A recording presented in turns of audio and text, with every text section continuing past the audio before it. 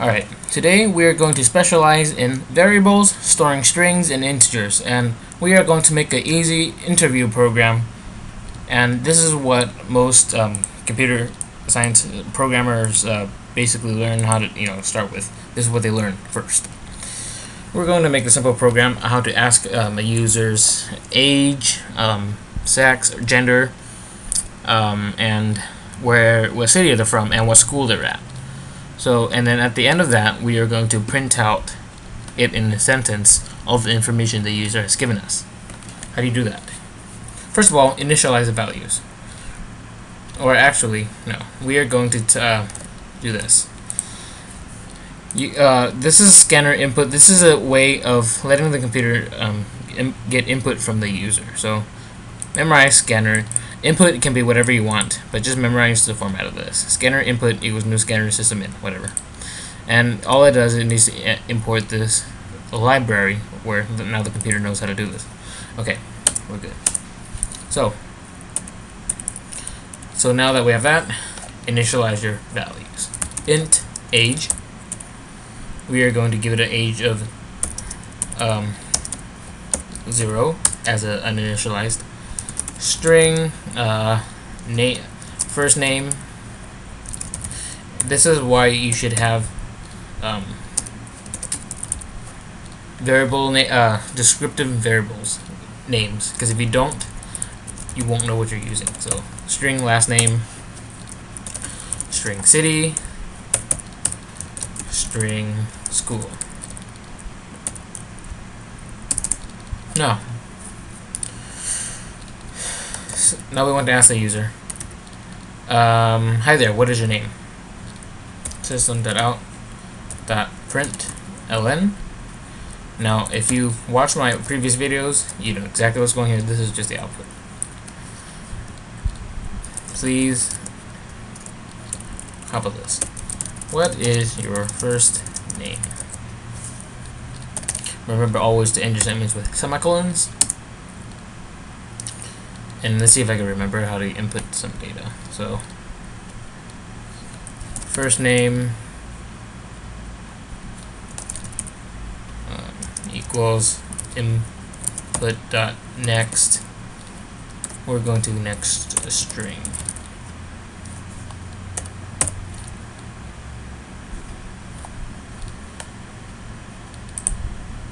Is that wrong? What, what am I doing? Maybe this should be line. What's wrong here? Let's see.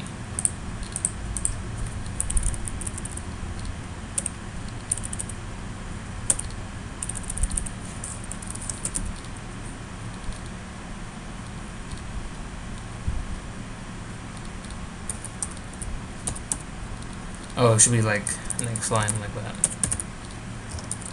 Alright. Alright, that makes sense.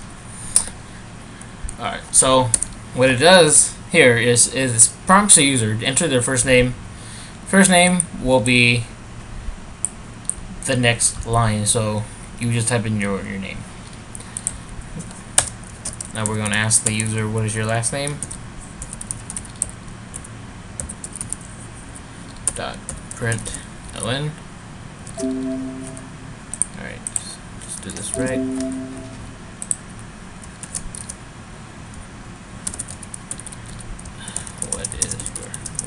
Name. And like the first one, last name is going to equal input dot next line.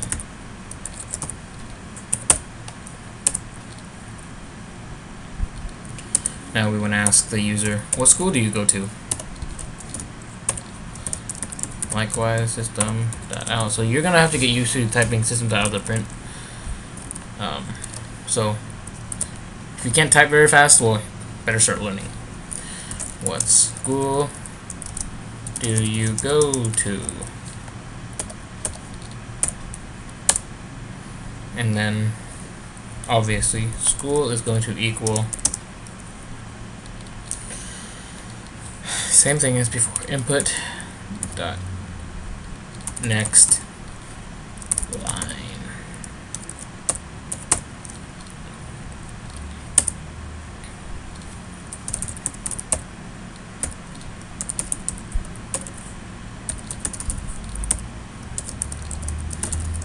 City are you from? And city equals input dot next line.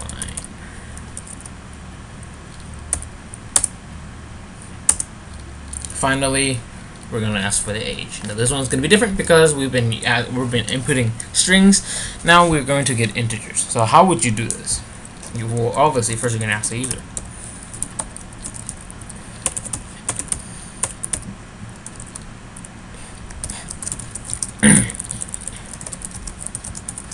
how old are you? Um,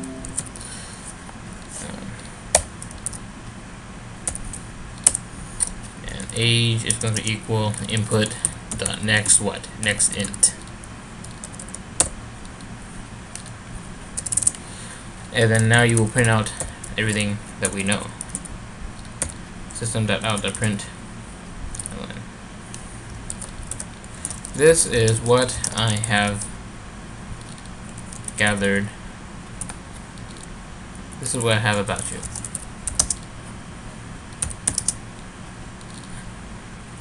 You are space plus first name. Space. You want to add a little space in there? Last name. Want to add a little space in there? First name last name. Make this bigger. You are first name and last name.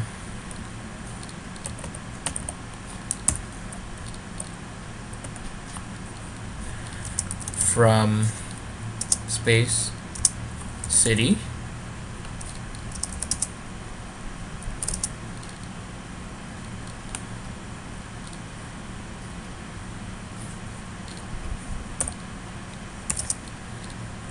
And you currently attend space end quote plus school. Space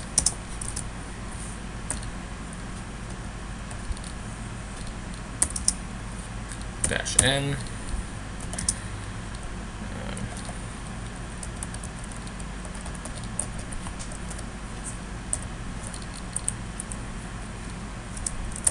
Space. You are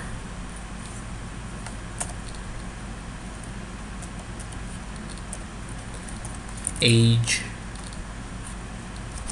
space years old.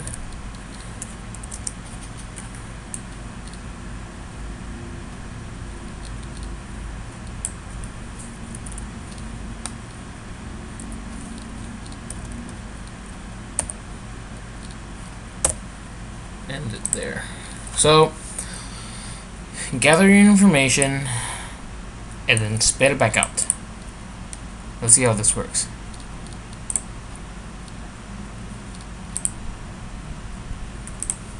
We're gonna try this out. Joe. Joe what? Joe Brown. What school do you go to?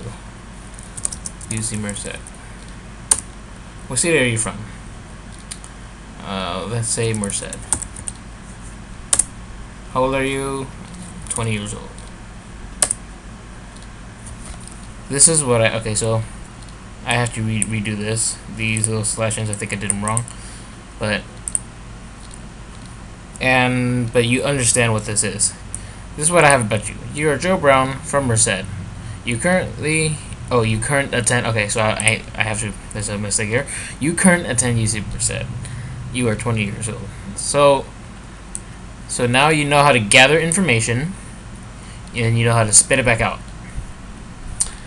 in the next uh, the next time we're going to do this, or as we go deeper into it, I am going to show you how to write these to a file, so you can save it to a file, you can access it later, you can do whatever you want.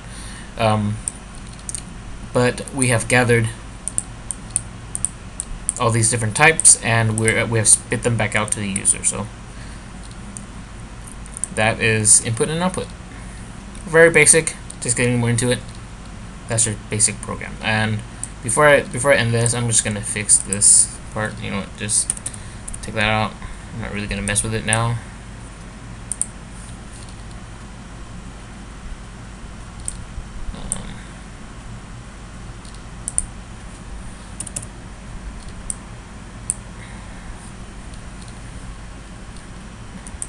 Um, again. Joe Brown UC Merced Merced say I'm 21 you are Joe Brown from Merced and you currently okay so you can just fix the basic shit right here and you understand how this works. Alright gather the information spit them back out. That's all we did. We, we declared our, our variables, we filled in our variables, and we used our variables, right? The more adva more advanced thing you can do is start manipulating with them. You can start, you know, if you can just add numbers, you can do whatever. You can start doing calculations, or you can just do this basic entry level stuff. So it's all up to you. So use what you learn here and start making your own projects. Start doing your own little things and mess with the code. Just start experimenting with your own code.